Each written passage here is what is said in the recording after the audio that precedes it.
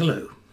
Today, inevitably, I am going to talk about the horrible situation that is unfolding in Eastern Europe, in the Ukraine. It is responsibility of one man, of Putin. But I'm not going to utter rude names about Putin. I'm not like our defence secretary, you know, in that schoolboyish sort of junior officer fashion, encouraging the regimental junior rugby team, you know, come on, he's gone full tonto. I'm not going to utter insults. I'm not going to say he's mad. I certainly think he's bad. At least he's bad in according to our values. No, what I'm going to do, I'm just going to try, which you should do surely with your opponent in anything, is to understand them and to understand them on their terms, not your terms. Our problem in dealing with Putin is that we think, as we tend to do, that everybody should have exactly the same values as a nice, sensitive, woke public school girl age 16. You know, it ain't true. There are varieties of human experience and once upon a time, historians dared to confront them. They've stopped doing that anymore. They want the past to conform to the present. Sorry, I'm an old-fashioned historian. I believe in encountering the past on its own terms, and I believe in encountering Putin on his terms. Putin is intelligent, he is informed, he is a careful strategic thinker, he knows what he's doing, and he's prepared himself to do it. So let's begin at the beginning. Why are we surprised? Putin well, he's a bit like Hitler, really. Mein Kampf said exactly what Hitler was going to do and why he was going to do it. In a series of speeches over the last two years, Putin has said exactly what he's going to do in the Ukraine, and indeed, rather more eloquently and more forcefully, and with, I think, much better historical knowledge, he's explained why he's going to do it. So, let's begin. Let's look at those speeches. They've again been denounced as pseudo-history, you know, czarist fantasies. Well, yes and no. They're actually, I think, really quite good history. So what is the Ukraine? Where will you find the map? Uh, where will you find the Ukraine on the map of Europe in the 16th century? You won't. 17th century? You won't. The 18th century? You won't. The 19th? No, you won't either. You won't find it until 1922. That's the starting point. That's the starting point, at least in the mind of Putin. What is the Ukraine? It's a huge slice of this vast, featureless plain of Northern Europe that stretches really the whole of the way pretty much from the Rhine to Eurasia. Um, this the section uh, that we're dealing with in the Ukraine is between the two seas of the Baltic in the north and the Black Sea in the south, and it's divided into two by the great river of the Dnieper that goes right down the middle of it, and on one side there is the uh, eastern Ukraine, on the other there is the western Ukraine. I referred to the 16th, 17th, 18th, 19th century. What is this land then? Well, it's essentially a fought over ground. It's fought over between empires. In the north, there's the Empire of Sweden. There are the various expansionary German forces, uh, things like the, uh, the Hanseatic League, uh, who are the traders that go along the Baltic, and there are the, uh, the, the, there are the, the, the, the Prussian knights um, who uh, in the late Middle Ages advanced the cause of Christianity and Prussia along, again, uh, that, that northern section of this plain immediately to the south of the Baltic. There's a German expansion there. There is uh, to the south, it's the Ottomans. Uh, to the uh, to the east, it's the developing power of Russia, Muscovite Russia, and then to the west, and actually holding much, most of this vast sweep of territory, is a country that we've really almost forgotten existed. Is the vast, vast territories of the Commonwealth of Poland-Lithuania, which is really a layer of, of noble landowners imposed on a vast um, semi-nomadic, semi-peasant population below them and controlling this vast area. And it's fought over. It's fought over repeatedly. And the victor is Russia. Russia under Peter the Great. And if you actually look at Putin, Putin is obsessed with the czars. He sees himself as a czar. Look at how he's presented himself when he gave these speeches. Where is he? He's in these vast, hugely rich rooms of the Kremlin when he presents his case to the Russian Security Council. This isn't an office. It's a vast rotunda with great columns, and he is placed in the centre, and and his the the various members of the Security Council are at little desks arrayed round, looking for heaven's sake. It looks like a, a, a Tudor Privy Council, the monarch on high, uh, everybody else dotted around, all saying yes sir, no sir, three bags full sir in a vast theatrical space, a vast theatrical imperial czarist space. So it is the first of these great czars, Peter the Great, and by the way, Putin, the American president for quite a long time, had a statue of Churchill in the White Office. He has in his office, he has a huge bronze statue of Peter the Great, because it's Peter the Great who at the end of the 17th century conquers the eastern side of this what is what we now call the Ukraine up to the great river the Dnieper and then who is it who takes the rest? Well, under the second of the greatest of the Tsars, actually German by birth, Catherine the Great, and her general Suvorov. And, and again, uh, in these extraordinary historical disquisitions, Catherine the Great and this great general Suvorov come up all the time. So what happens in the, in, in the Tsarist epoch of Russian history is that the, the Russian state, the, the, Russian imperial state, the Tsarist state, thrusts itself right to the east and it, in the process, of course, it destroys Poland completely and absorbs it. Poland is split up three ways between the three empires of Prussia, um, uh, German, Germany, Prussia, um, and the uh, and the uh, the Austro-Hungarian Empire, um, and and and Russia is divided between all of those. And Catherine the Great not only seizes this vast section of, of what was formerly Poland, Lithuania, she and Suvorov in particular also take cutting down to the very south towards the Black Sea. They take uh, uh, the, the, the, northern littoral of the Black Sea from the Ottomans. So Catherine the Great and Suvorov uh, conquer the whole of the west of the Ukraine right the way down to the Black Sea. So these territories are assembled together for the first time under a single ruler by the Tsars, by Peter the Great and by Catherine the Great. This is what Putin said, and Putin is absolutely right. Point one. Point two, and this has confused a lot of people. He has then said it is the communists, it is Lenin who actually create the Ukrainian state. Well, actually, I'm afraid he is right.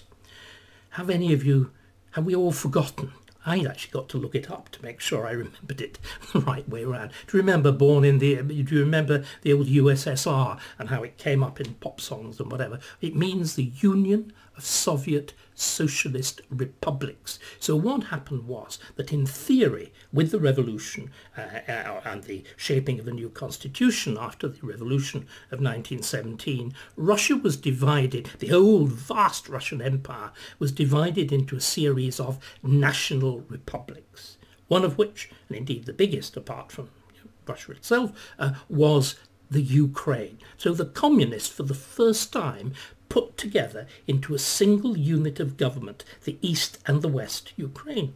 That's what Putin says, and Putin is absolutely right. And moreover, after the Second World War, uh, when the, you know, the uneasy standoff develops between Putin, between between Stalin and the West, between uh, it's very easy to confuse the two of them. When the uneasy standoff uh, uh develops between uh, between uh, the USSR and the USA, Russia deliberately has the Ukraine, amongst I think one is it two other of the Soviet republics, actually given independent theory, independent seats um, uh, uh, in the United Nations to so will help balance things out against America and its allies. Now, of course, this the, the whole structure of the multinational, um, as it were, quasi-autonomous republics of the USSR was a fiction. It was a highly centralized dictatorship, uh, but it was held together by the structures of the Communist Party, which penetrated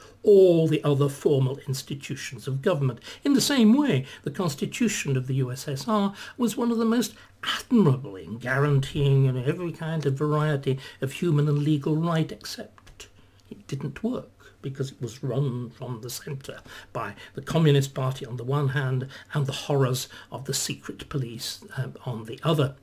The KGB, of which, of course, uh, Putin was a, a notable example. He was actually a KGB officer. In other words, we have the Soviet Union, in theory, disintegrating the empire, recognizing rights of national self-determination with it, but in reality keeping its structure, its highly centralized structure. This, of course, fulfills, uh, as always, Starkey's law of revolutions, but what revolutions do is perpetuate the worst features of the Ancien regime. And of course, the fall of the Soviet Union has revealed this. As the, the structures of communism, of the communist state fell away, you're now left and left naked, in the case of Putin, with the surviving imperial ambition. So Putin's account of uh, the, the, the, if you like, the artificiality, indeed, the artificiality of the frontiers of the Ukraine carved out by a former imperial domination, exactly, of course, like the various countries in Africa were carved out by the clash of empires in the 19th century, and the Ukraine is exactly like that. That's where he's right. Where he's wrong is that in the 19th century there was a very serious and developing movement uh, for um, a separate identity for the Ukraine, which was enormously increased, of course, by the savagery of Stalin in the 1930s, uh, when as part of his program of forced collectivization, he carries out a holocaust, um, um, actually a holocaust by famine um,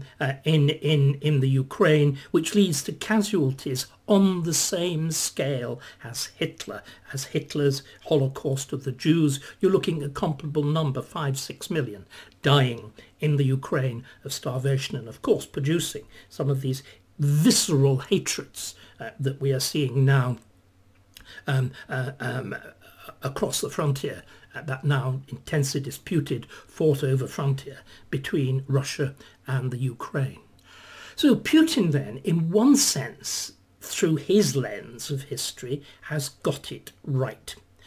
The Ukraine is assembled by Russia. It is only the force of Russian arms that puts it together under Catherine the Great and Peter the Great, and it is only the force of Russian arms in the Second World War that stops the Nazis from conquering it. This is what all Putin's rather otherwise rather obscure references to. I'm going to make sure they say they claim they want the Ukrainians claim they want the place decommunized. I will show them what decommunization means. In his light, decommunization means, as it's the communists that create the quasi-state of the Ukraine, decommunization means reabsorbing the Ukraine into the Russian Empire. And again, it's really important that we understand this more fully. Putin has consciously revived. I referred to uh, the, the, the, the, vast rooms in which he always appears, the staggering ornamentation uh, of, of the decorations, the plastering of everything in gold. Um, Putin has consciously revived Tsarism the Russian state now uses effectively the arms of the czars, the eagle, eagles and so on. Um, it uses the, the symbolism it, it, has started to revive the Orthodox Church. There's a sense of, you know, Mother Russia, um, the the extraordinary turbulent forces that you see in Tolstoy and that you see in the great Russian operas, Yuri Mussorgsky and all the rest of it. Putin is playing that and playing it very effectively. We, of course, focus in the opposition in Russia. I'm not sure how much it speaks to the broader mass of the Russian people. Why should they have changed? Now, this again is the problem, of course.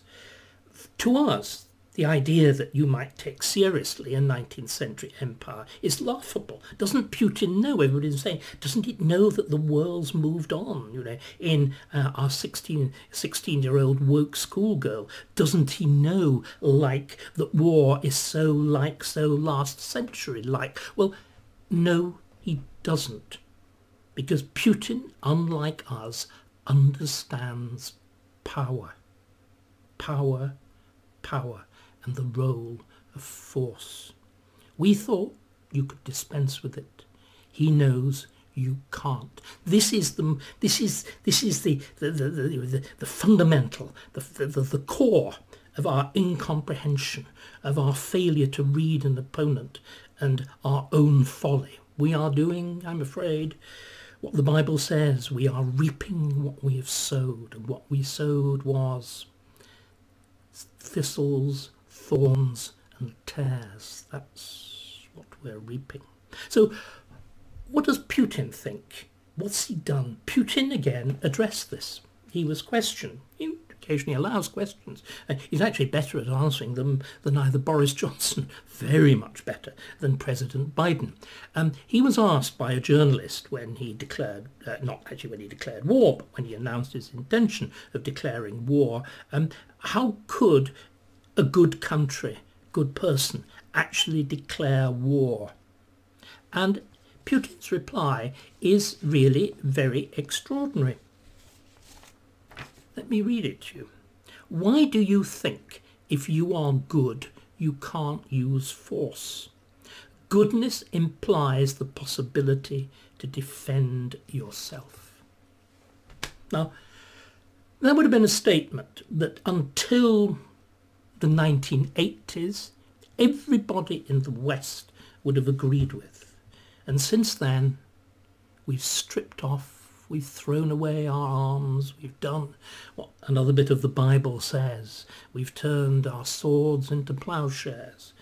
And we are naked to our enemies because Putin adopts completely the opposite line. Putin sees, as Bismarck did, as Churchill did, as Palmerston did, as Queen Elizabeth I did, as everybody did, force as the ultimate instrument of policy. In the same way that finally force is the centre of all law. Power is the centre of all law. Law is meaningless without the power of the state to enforce it. Let's begin first by looking at what Putin did and then look at what we did. Putin decided that he would prepare for war. He's been preparing under our nose for years. There has been this astonishing reform of the Russian armed services. They had become a joke. Um, they were falling to pieces in, in the latter days of the communist regime. Putin has reformed and has rearmed and re-equipped and redisciplined his army so that it is now easily the fourth best in the world, fourth biggest, fourth strongest in the world after America, China and India. Everybody jokes, don't they? Oh, you know, Russia is just Spain with nuclear weapons or Saudi Arabia with nuclear weapons. No, it isn't. Russia is now a great power again. That was Putin's aim, and Putin has achieved it. How's he done it? Apparently, if you actually look at the if you look at the uh, international tables of comparison, Britain and Russia spend roughly the same on an army, on on on sorry on on their defence establishment. The problem is that's a wholly misleading comparison. It's done by looking at dollar exchange rates. They tell you nothing about internal purchasing power. If you actually look at the purchasing power parity, you have a totally different picture because wage, wage rates are so much lower in Russia. You can get much more bang and far more troops for your buck. And by the way, uh, the Russian army has re-equipped itself in a fashion which shames the Ministry of Defence. It's actually got tanks that work. It's got missiles that reach their target.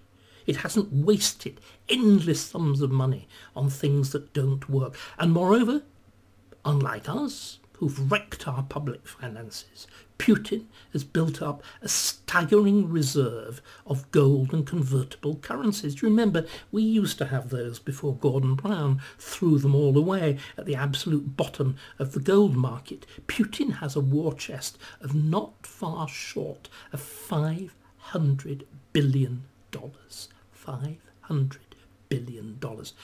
And we play around with sanctions of a few billion. What do we think of a difference it will make? So Putin then, just like a Bismarck, just like a Hitler, just like a Palmerston, just like a Churchill, understands the use of power. What did we do with power? Well, ladies and gentlemen, we persuaded ourselves you could live without it. We in the West have been living in a fiction. We've been living in a fictional world in which we thought that power was unnecessary. Power was vulgar. Power was nasty. I remember when I appeared uh, with Iain Dale um, uh, uh and uh, uh, um, there was a, you know, uh, uh, uh, uh, that rather disagreeable lefty, Paul Mason, on the show, I ventured to say that if you look at the classical formulations of legal authority by people like Jeremy Bentham, he emphasises the importance of law resting finally in a monopoly of force or power. I pointed out that Bentham says that international notions of international law or notions of, of universal human rights are nonsense on stilts, and for my pain I was denounced by Mason as a Nazi, effectively, because I talked about power. Sorry, power is the basis of human society. It can't work otherwise. We've thought otherwise. It works internally. We all know, finally. There's a police, the reason you obey the law, finally. Well, if the Met gets around to it and isn't busy pursuing, isn't busy bending the knee or, or, or, or arresting somebody for saying a rude word about a transsexual. If you break the law, you will be arrested, you will be taken to court, you will be found guilty and you'll be put in jail. That's called force. But we persuaded ourselves that there was this thing called an international world order there was a thing called international law, there were things called universal human rights. And we thought they were real things. They're not. They're fictions and they're myths. The only reason that the fictions and myths seem to have a little bit of reality, you know, when we intervened in the Balkans and dragged off uh, the Serbian leader to a to a trial um, uh, in in the International Court of The Hague, was we were able to apply force. Let's just look again at this notion of the world order. It was tried, of course, it's a product of American idealism. It was tried after the First World War with Woodrow Wilson and the creation of the League of Nations, and of course that collapsed because America wasn't involved in it and there wasn't therefore a power of force behind it. It was tried again with very similar intent after the Second World War, with another American pushing it through, not so much Roosevelt himself, uh, but, but, but Mrs. Roosevelt, uh, Roosevelt's wife, who is the idealist uh, behind the UN, the Universal Declaration of Human Rights, and all that sort of thing.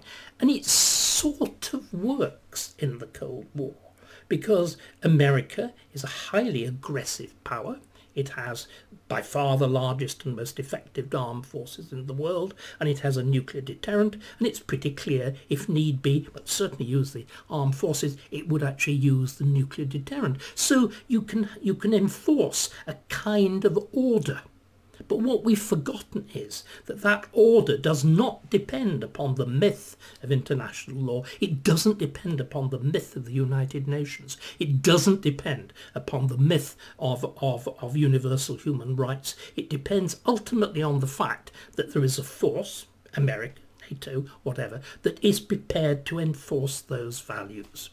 Since the collapse of the Soviet Union and our deciding we can't be bothered to spend any money on defending ourselves, inevitably that vision of right, which is our vision of right, is collapsing. Because again, our, the problem with this this notion of universal human rights, international law, the world view of the 16-year-old work schoolgirl, is that we assume it's shared by everybody. Oh no, it's not. It's perfectly clear. I mean, when we've tried to export it, when we tried catastrophically to export it to Libya or to Iraq or to um, or to even the most catastrophic of all, to, to Afghanistan, we discover people don't actually share these values. And again, look at some of the silly things that have been said about Putin. Oh, Putin is now a pariah well, he'll be a pariah uh, amongst the West. But you know, the democracies, I think at the last count, are only a fifth, one fifth of the states in the world. I think Putin will be a hero. I think he'll be a hero in Iran. I think Putin will be a hero in quite large chunks of Latin America because he's given the West a bloody nose. He will be a hero probably in Pakistan. In fact, Imran Khan, would you believe it, is in Russia even as we speak now. He will be a hero in Xi's China because, of course, what's happening in the Ukraine is opening the door directly to Taiwan. They have different values. Can we not understand that? They are articulated by different values, emotions, desires from us. The Bible tells the Bible tells us most things. Man shall not live by bread alone. We in the West have assumed that all people want is material satisfaction. Other people think differently. And until we recognize that difference, we are lost. It used, as I said, to be the job of proper history teaching to get people to understand that earlier societies and different societies had operated according to different values. We've thrown that out of the window with the absurdity, again, always Blair, isn't it? Always leading the way, and making apologies for the past for things that, of course, in the past were not regarded as wrongs and certainly weren't regarded as wrongs in the way they are now. It is the refusal to recognize human difference. But of course, we did much more than believe in the myths. We also translated the myths into practice. Putin believed in power, and he translated power into reality by his policies of the reform of the army, of building up reserves. We, I'm afraid, expressed our disbelief of power too. Uh, we spend, wait for the figures, we spend 80% of our budget on two things, well, three things, on the NHS, on welfare, and on the old age pension. That leaves every other activity of the state with 20% of what you pay in tax. And it leaves defence with 4%. 4%. 4%. Which is why, of course, we are helpless. Russia can do what it wants. That's the plain truth. It was another Roosevelt, Theodore, who had that wonderful phrase saying, speak softly and carry a big stick. We bellow and wave around a straw. It's shameful. And of course, We have incapacitated ourselves in every way by a series of absurd priorities in government policy. I've already you know, given the picture of the British state, and this is true of all the Western states. What we are now effectively is a welfare service with a little tiny state attached. And in the case of some states, this isn't even even that isn't an adequate description. Shall I read what the head of the German army, the Bundeswehr, has said. I never thought I would have to live through another war. Can I repeat that? This is from a professional soldier. I never thought I would have to live through another war. The Bundeswehr, the army that I lead, is more or less dry. It has no military resources. The options we can offer politicians to support the alliance, that's NATO, are extremely limited. If you may remember, they performed drill with sticks and brooms. That is the extreme case, but it's pretty much true throughout the West. We are helpless. Now, this has terrible consequences. It has consequences that I don't think we want to face because we all decided that really, you know, surviving, that uh, the, the notion that the state might have the first duty of protecting the individual citizen and the, the first duty of a state is to defend its frontiers. We've thrown all that away, and we're terribly irresponsible. We can't even keep, you know, a collection of lads with mobile phones in dinghies in the channel off, um, much less the Russians, because we thought there were other more important things. We thought, you know, the planet was about to burn up, and it was our absolute duty to decarbonise. So we've closed our nuclear power stations. We've closed our coal power stations. We're trying to close down our gas-fired uh, power stations. We are refusing to develop our North Sea oil fields. We are refusing to frack. Where does our power come from? Remember, we depend upon power in the same way that ancient Rome depended on the aqueducts that carried water. And what we've done it took, who did it take? It took the barbarians to cut the aqueducts to Rome, and Rome then shrivels from the capital of the world to a village. I'm afraid we've left ourselves in the position that because of inane environmentalism, don't get me wrong, I think decarbonisation would be a thoroughly sensible idea, providing you can do it with a strategic sense of we need power. We need power. We need gas to be blunt in at the moment in exactly the same way that ancient Rome needed water. And the prime supply of gas, there are two main sources of gas to Europe. One is from Norway and the other, which is fine, thank heavens, and we get most of ours from it, and the other is from Russia. And Germany, this vast powerhouse or literal powerhouse of industry, depends on Russian gas. It has refused, it has closed down its nuclear plants. Again, the catastrophic Merkel was responsible for closing down the German, German nuclear power. Um, we are we, in Britain, again, we've refused to develop things like and the, the, the, vast power of the tides in the Bristol Channel um, and, and, and the Thames estuary because it might interfere with a few seabirds.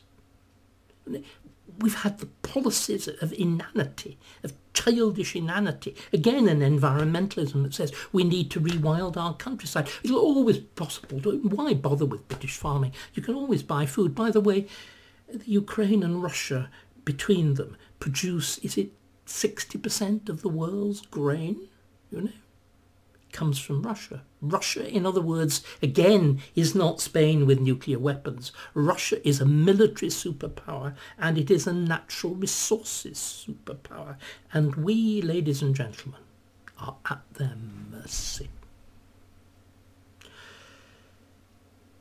I never thought, I was born in 1945, I didn't think I would live to see what has happened, to feel so ashamed, to feel so much like a Cassandra.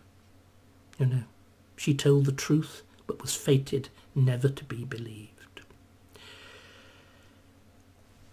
What can one do? So show a bit of courage. Try and see the truth, speak the truth, and to hope somewhere, maybe here at any rate, somebody will listen and somebody will do something and that we'll try and recognise reality. Everybody's talking about Putin living with an imperial myth. Well, the problem is he has given muscle to that myth. He has given the muscle of tanks and missiles and hypersonic systems. So it's not a myth anymore. It is an energizing principle. It's the tip of a hypersonic missile. We, on the other hand, have lived by another myth. We lived by the myth that there's a nice, comforting system of international law and human rights which everybody obeys, don't they? And we've thrown away the only means we had at our disposal of making sure they do obey the rules. Sorry, we have been the foolish virgins. If you remember, the foolish of the wise and foolish virgins were the ones who had oil and didn't have oil. We've thrown our oil away. We've lost, literally, power, both in the sense of lights and power in the sense of that unfortunate need to have the strength to defend yourself against somebody who's not mad, but bad and wants to harm you.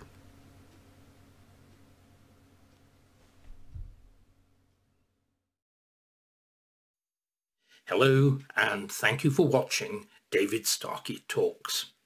If, as I very much hope, you're enjoying them, why not become more actively involved and join my members club? As a member, you'll be able to take part in the members-only weekly question and answer session, suggest topics for forthcoming videos, and have priority booking for my forthcoming live events. And while you're at it, why not have a look at the store page on my website, davidstarkey.com. There you can purchase t-shirts and other merchandise, buy signed copies of my books, and, if you're feeling brave and a bit flush, even arrange to take me out to lunch. Thank you once again for watching. I look forward to hearing from you and to welcoming you to my members club.